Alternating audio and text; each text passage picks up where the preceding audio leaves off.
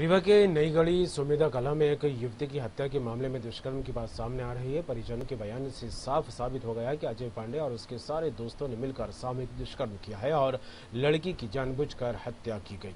वहीं मामले में थाना प्रभारी की घोर लापरवाही सामने आई है। इसमें रीवा एसपी राकेश सिंह ने विद्या बारी तिवारी को लाइन अटैच कर दिया है। ये वीडियो उनके घर का है, जिसमें अपराधियों के खिलाफ खुलकर महिलाएँ कह रही हैं। हत्या करने के बाद उसके पूरे घर पर आरोपी पक्ष दबाव बना रहे और पैसे देकर समझौता करने की बात कही जा रही है।